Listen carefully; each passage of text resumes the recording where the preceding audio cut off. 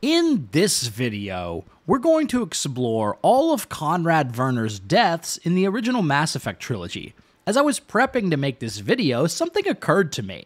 Conrad Verner is the only NPC who can potentially die in Mass Effect 1, 2, and 3. Many characters can die in one game, some others can die in two, but Conrad is the only one who can die in all three games in the original trilogy. So let's take a look at how that plays out. You showed me what it meant to be truly extreme. I learned that lesson well. What's up, everyone? Big Dan here. Before we begin, you should know I have over 150 Mass Effect Trilogy videos on my channel, including hidden scenes, rare choices, lore videos, and guides. So if you want to see more Mass Effect, hit that subscribe button and turn on notifications so you don't miss any new videos. Without further ado, let's dive right in. In Mass Effect 1, we can bump into an enthusiastic fan on the Citadel. His name is Conrad Verner, and with each subsequent meeting, he becomes more emboldened, eventually asking Shepard to make him a Spectre. What if you signed me on as another Spectre? Conrad, I haven't been shot in the head nearly enough times to make that seem like a good idea. But if you tell him to get lost, things turn out quite differently than Conrad expected. Hey, Commander Shepard, it's me, Conrad Verner. Remember me? You were too busy to talk last time, but that's not a problem. I know you're busy being the first human Spectre and all.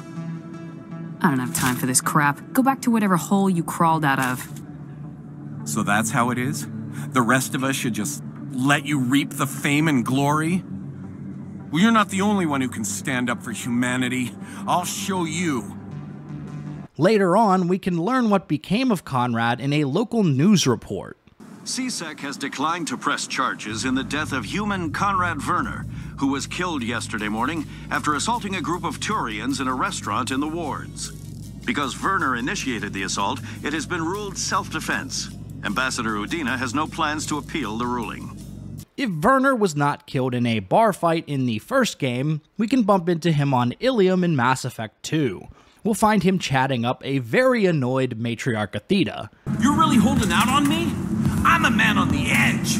I got nothing to lose. Uh-huh. I'll do anything to get the job done. I'll go all the way without a second thought. Uh-huh. During this conversation, if we tell Conrad to get lost, he'll vow to show us what he can do. You'd be surprised how many people are just waiting for someone to talk to them. Sometimes I poke through crates too, you know, for extra credits. I don't have time for this, Verner. Get out of here and stop causing trouble. Oh, so that's how it is? Nobody can get the job done but you? You just wait, Shepard.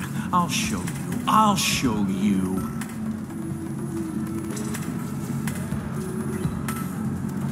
Poor little dumbass. After we tell Conrad to scram, we can overhear a galactic news report about him as we head to the docking bay on Illium. Accident has claimed the life of tourist Conrad Verner, who attempted to capture transient youths hitching a ride on the top of a bus. The would-be hero fell from the bus, struck several passing cars, and eventually fell into the power turbine of a biomass recycling facility.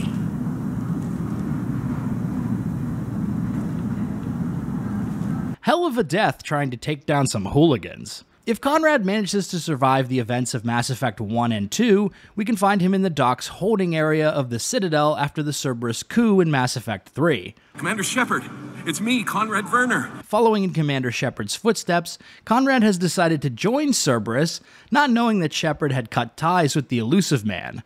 While Conrad was speaking to the public, a Cerberus agent sabotaged the Medi-Gel stations in the area. Hoping to put things right, Conrad points out the Cerberus agent to Shepard. When the agent pulls a gun on the commander, Conrad throws himself in the path of the bullet.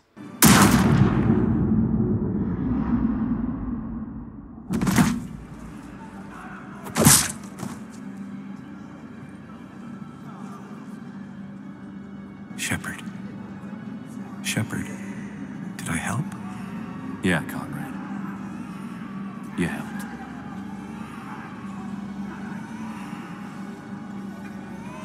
Conrad can survive this encounter if you completed the Mass Effect 1 mission called Citadel Rita's Sister. In that case, Jenna, the woman we removed from Chora's den, will sabotage the Cerberus agent's gun, saving Conrad's life in the process. Shepard, did I help? Yeah, Conrad. You helped. I don't even feel anything. Actually, I sabotaged his gun. It might have looked like it fired, but that was just the thermal clip overheating. Hi, Commander. It's me, Jenna. You helped me a few years ago when I was working undercover at Chora's Den. And now you're volunteering here. Right. Chellick showed me a few little tricks when he had me working undercover. Guess that paid off, huh? You. You saved my life. I can't believe you were willing to lay down your life for Commander Shepard. You're so brave. Oh, the commander and I go way back. Let me give you a hand, and I can tell you about it.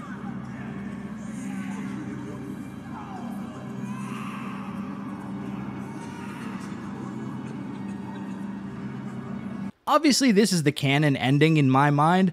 I don't want to see Conrad die in any of the games definitively, but it's interesting that it's a possibility in all the games. So there you have it. Conrad Verner is the only NPC who can die in every game in the original Mass Effect trilogy. If you like this video, be sure to subscribe to Big Dan Gaming for more Mass Effect and RPG videos. I also have a bunch more Mass Effect videos, so why don't you check out another one, like this one I've linked on the screen. Shout out to all the channel members for supporting my content. Until next time, this has been Big Dan. I should go. Did you lose anyone back on Earth? No. I mean, extranet friends and such, but I don't really have any family left. What about your wife? Mm. Conrad, do you even have a wife? Oh, yes. Yes, yes, yes. Well, no, but see, Conrad, if you have some kind of weird shrine of me, I'm gonna be very unhappy. it's just a poster with a few candles. It's very tasteful.